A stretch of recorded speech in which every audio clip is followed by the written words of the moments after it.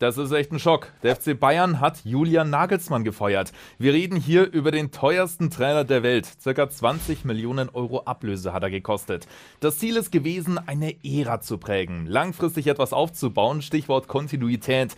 Tja, daraus wird nichts. Der Zeitpunkt dieser Entlassung ist absurd. Es ist die heiße Phase der Saison. In der Bundesliga gibt es einen Titelkampf. Jetzt steht der Klassiker gegen den BVB an, da wäre Ruhe wichtig.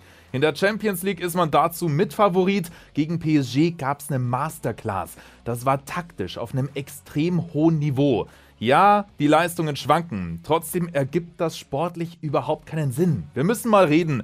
Die Entlassung hat verschiedene Ebenen. Und ja, der FC Hollywood ist zurück. Also, los geht's.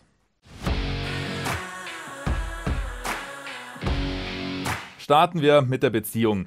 Eigentlich hat es wie ein Perfect Match ausgesehen. Beim FC Bayern gibt es die Mir-San-Mir-Mentalität.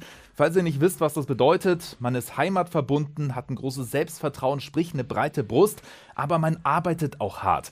Julian Nagelsmann kommt aus der Region, ist ein Taktiktüftler und schon vor vielen Jahren hat er mal gesagt, es wäre ein Traum, im Verein zu arbeiten. Also die Identifikation ist definitiv da. Insgesamt eineinhalb Jahre hat die Beziehung gehalten. Aber sie kühlte sich immer weiter ab. Lasst uns mal über die Gründe reden. Punkt 1 ist die Kaderplanung. Zu Beginn seiner Amtszeit 2021 sind die Bayern sehr vorsichtig gewesen. Der Kader war dünn, Jahr für Jahr gingen Leistungsträger. So, und Nagelsmann hatte eine Wunschliste. Zum einen standen da die Positionen drauf, wo er neue Spieler braucht. Zum anderen natürlich dann auch Spieler, die da passen könnten. Das bestätigt er dann später auch mal. Aber, und das ist der springende Punkt, es passierte wenig. Es gab Gerüchte, angeblich seien die Wünsche zu teuer gewesen. Die Konsequenz, der Kader war einfach nicht gut ausbalanciert. Ausfälle konnten nicht eins zu eins ersetzt werden.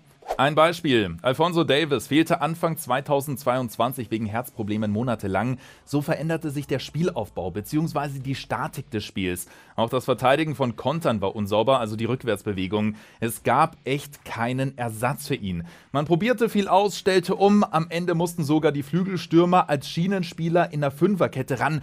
Das war alles nicht optimal. Taktisch fand er nicht die beste Lösung.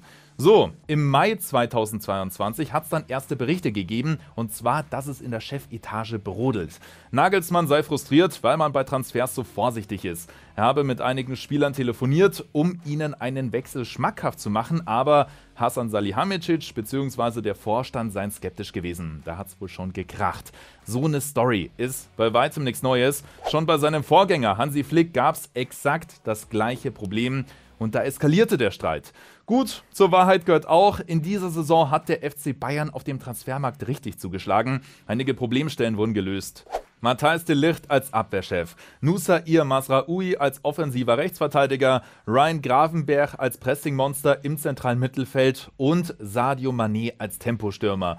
Man hat gedacht, okay, jetzt passt alles. Die Breite im Kader ist deutlich stärker, die Qualität, die von der Bank kommt, ist brutal und es gibt keine Ausreden mehr. Also, in der Chefetage hat's so wirkt es immer wieder Spannungen gegeben. Schuld ist unter anderem dann auch Punkt 2, die Kommunikation. Beim FC Bayern ist es immer unruhig und bei den Krisen haben ihn die Bosse, so hart es klingt, im Stich gelassen. Julian Nagelsmann ist auf den Pressekonferenzen gesessen und musste immer wieder kritische Fragen beantworten, auch zu Themen, die ihn überhaupt nichts angehen. Ein Beispiel, die Impfdebatte mit Joshua Kimmich. Er hatte Bedenken und wollte sich nicht impfen lassen, das habt ihr ja wahrscheinlich alle mitbekommen. Nagelsmann verteidigte ihn und meinte, es gebe halt eine Meinungsvielfalt. Oder das Cutter-Sponsoring. Im Club gab es viel Ärger, die Fans stellten sich gegen die Bosse. Nagelsmann versuchte zu vermitteln. Man sollte lieber hinter den Kulissen diskutieren, das wären dann konstruktivere Gespräche. Auch hier, die Bosse gaben meiner Meinung nach ein miserables Bild nach außen ab. Sie versteckten sich und wollten es anscheinend aussitzen. So wirkt es zumindest von außen. Nagelsmann war der Krisenmanager, beziehungsweise das Sprachrohr des Vereins. Auch hier gab es die Gerüchte, dass es intern krachte, denn klar, für ihn war das eine total miese Situation und einfach nicht sein Job. Die Bosse hatten ihn, ja, im Stich gelassen. Ihr merkt, vor allem im ersten Jahr ist es drunter und drüber gegangen. Im Club brodelte es. Eigentlich hatte man gedacht, okay, mittlerweile haben sie die Dinge geklärt, aber nee, das ist anscheinend nicht der Fall. Schuld sind, denke ich, zwei Dinge. Die Vereinsphilosophie. Dem Trainer wurden nur wenige Transferwünsche erfüllt und die Außendarstellung. Die Bosse haben ihn viele Dinge klären lassen und so ist dann die Beziehung, schätze ich, abgekühlt. Trotzdem, die Entlassung zum jetzigen Zeitpunkt der Saison ist eine riesige Überraschung. Kommen wir zur sportlichen Krise. Klar, Julian Nagelsmann hat Fehler gemacht. Bei einem Weltclub zu arbeiten ist für ihn was ganz Neues gewesen, da ist so etwas ganz normal. In dieser Saison hat es zweimal gekriselt. Erst in der Hinrunde. Ein Stotterstart mit vier Bundesligaspielen in Folge ohne Sieg. Der Grund ist da relativ schnell erklärt und zwar die miese Chancenverwertung.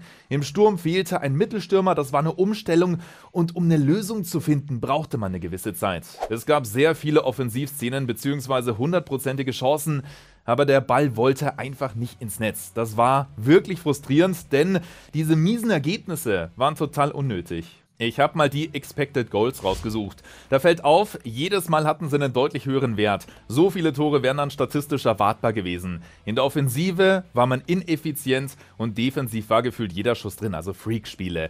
Da konnte man ihm eigentlich keine große Schuld geben. Nagelsmann kann sich einen taktischen Plan überlegen, wie man in den Strafraum kommt, am Ende müssen halt die Spieler schießen. Besser wurde es dann, als Erik Maxim Choupo-Moting als Neuner ran durfte. So endete die Krise. Eigentlich gingen die Bayern mit einem relativ guten Gefühl in die WM-Pause. Tja, und dann gab's die nächste Krise. In der Rückrunde. Der Start ist wieder holprig gewesen, drei Unentschieden Folge. Der Hauptgrund war wohl, dass einige Spieler in einem mentalen Loch steckten. Die Weltmeisterschaft lief für viele eher so semi-gut. Deutschland flog in der Vorrunde raus, Frankreich verlor das Finale, viele Leistungsträger waren in so einem kleinen Tief. Für Nagelsmann eine neue Herausforderung, er musste sie mental aufbauen und das packte er anscheinend nicht. Spielerisch ging die Kurve nach unten, die Offensive hatte keine Power, man erarbeitete sich relativ wenige Chancen, es gab viele leichte Fehler und es wirkte fahrig. So schmolz in der Bundesliga der Vorsprung dann auf die Konkurrenz. Ja, das ist echt ein Phänomen. Der Club zeigt zwei Gesichter. In Topspielen wie in der Champions League liefern sie ab. Taktisch ist es auf einem enorm hohen Level. Egal ob gegen Inter, Barca oder PSG, man hat kein einziges Gegentor kassiert. Acht Spiele, acht Siege, jeder ist da gut vorbereitet und weiß, was auf ihn zukommt. In kleinen Spielen wie in der Bundesliga fehlt dann die Intensität. Jeder Spieltag gefühlt mit angezogener Handbremse. Zum Vergleich, in den letzten fünf Spielen hat man neun Gegentore kassiert. Es sind unkonstante Leistungen. Die Bayern-Bosse konnten das jetzt gut als Vorwand nehmen, denn das als schreckliche Krise zu verkaufen, sorry, das ist Quatsch. Der FC Bayern ist in allen Wettbewerben dabei, man kann drei Titel holen und, wenn es drauf ankommt, liefern sie ab. So, bei einer Trainerentlassung gibt es natürlich immer Kritik, die berechtigt ist. Auch hier, und ich denke, vor allem zwei Dinge muss man Nagelsmann vorwerfen.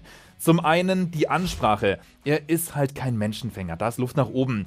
Er hatte im Sommer selbst angemerkt, Zitat, ich habe vermutlich unterschätzt, dass das Vier-Augen-Gespräch im Büro für manche Spieler bedeutender ist, als ich es mir als Trainer vielleicht vorgestellt habe. Ja, taktisch redet Nagelsmann natürlich viel, aber beim Menschlichen gibt's wohl Abstriche. In dieser Saison hat's mehrere Probleme gegeben. Bei der Kritik pickt er sich nämlich immer wieder öffentlich einzelne Spieler heraus. Zum Beispiel Jamal Musiala. Ihm wurde fehlende Klarheit beim Abschluss vorgeworfen. Bei so einem Rüffel geht's halt ums Fingerspitzengefühl. Sagt das dem Jungen im Büro, gar kein Problem, aber macht das doch nicht in den Medien. Beim FC Bayern spielen Stars. Der Konkurrenzkampf ist hart und mal ganz allgemein gesagt, es gibt große Egos. Da muss man die richtigen Worte finden und für Nagelsmann ist das komplett neu gewesen. Aber hey, das war von Beginn an klar. Er ist ein anderer Trainertyp. Wenn die Bosse unbedingt eine Vaterfigur haben wollen, hätten sie jemand anderen holen müssen. Es gab wohl Spannungen in der Kabine, wobei, dass er sie komplett verloren hat, glaube ich ehrlicherweise nicht. Zum anderen ist noch die Ausbildung ein Kritikpunkt. Beim FC Bayern ist Erfolg alternativlos. Rückschläge sind nicht erlaubt, deshalb wird vor allem auf die Stars gesetzt. Im Schnitt 26,2 Jahre sind die eingesetzten Spieler alt, damit ist man im oberen Mittelfeld der Liga. Die Aufgabe, Shootingstars aufzubauen, hat nur zum Teil geklappt. Mathis Tell hat die hohen Erwartungen nicht erfüllt. Der Trainer meinte, dass der Junge 10 Buden machen wird. Jetzt ist er bei knapp der Hälfte, was auch daran liegt, dass er kaum Spielzeit bekommt. Ryan Gravenberg im zentralen Mittelfeld hat sich sogar beschwert, dass er keine Chance kriegt. In der Liga stand er kein einziges Mal in der Startelf.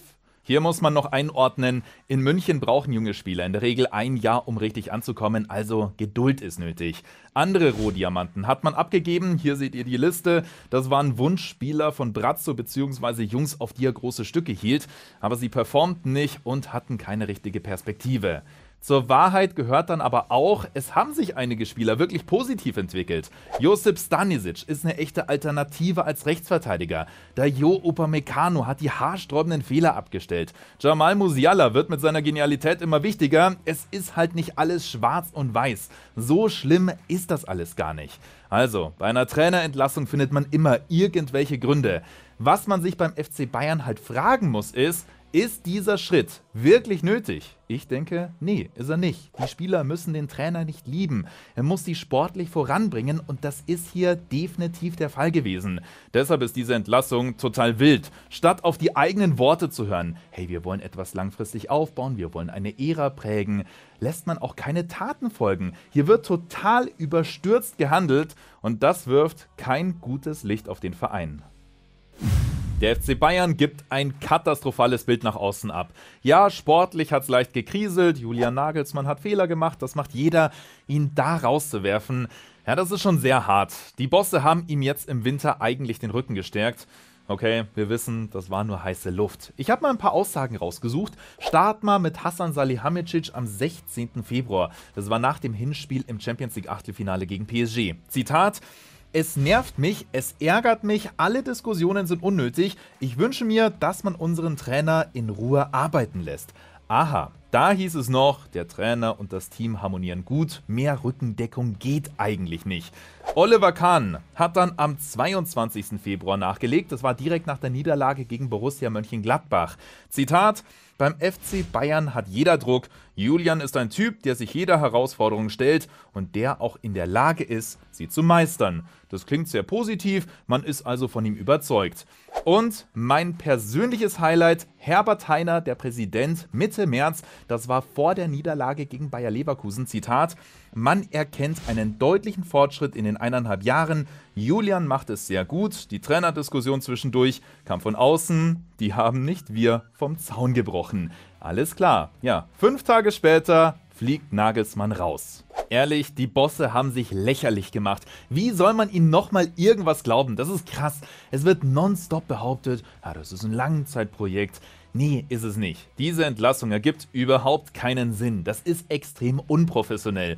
Bevor wir zu seinem Nachfolger kommen, was denkt ihr? Ist diese Entlassung okay und ihr könnt die Bosse verstehen oder ist sie überhastet und ihr versteht die Welt nicht mehr, so wie ich beispielsweise? Schreibt mir das doch gerne mal unten in die Kommentare.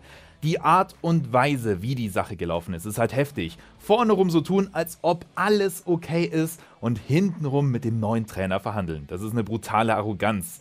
Kommen wir zum neuen. Thomas Tuchel. Ja, er ist einer der besten Trainer der Welt. Sie haben ihn schon lange auf dem Radar, aber das Timing hat halt nie so richtig gepasst. Für mich ist er der, ja, identische Trainertyp wie Nagelsmann. Er spielt sehr ähnlichen Fußball und das größte Problem ist sein Charakter. Er gilt als unbequem, eckt gerne an und es gibt auch Machtkämpfe. Bei PSG und dem FC Chelsea hat es mit den Bossen gekracht.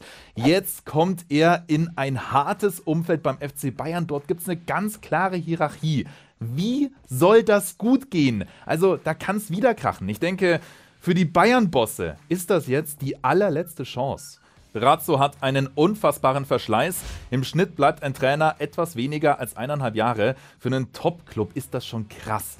Jetzt hat er ohne große Not den teuersten Trainer der Welt rausgeworfen. Wenn dieser Move schief geht, muss man ihn dringend hinterfragen. Meine Prognose ist, ja, Thomas Tuchel wird beim FC Bayern erfolgreich sein, aber er wird es sich mit den Bossen verscherzen. Oh Mann, das ist wirklich ein absolutes Chaos, das es hier gerade in München gibt. Bald rede ich noch ausführlich über Thomas Tuchel und die Hierarchie beim FC Bayern. In der neuen Folge Bolzplatz passiert es, die kommt dann nächsten Donnerstag um 17 Uhr online, wie immer auf dem Sportstudio Fußballkanal. Ich poste es dann natürlich noch hier im Community-Tab, damit es keiner verpasst. Wir sehen uns dann beim nächsten Mal wieder. Bis dahin wünsche ich gut Kick, haut rein und ciao.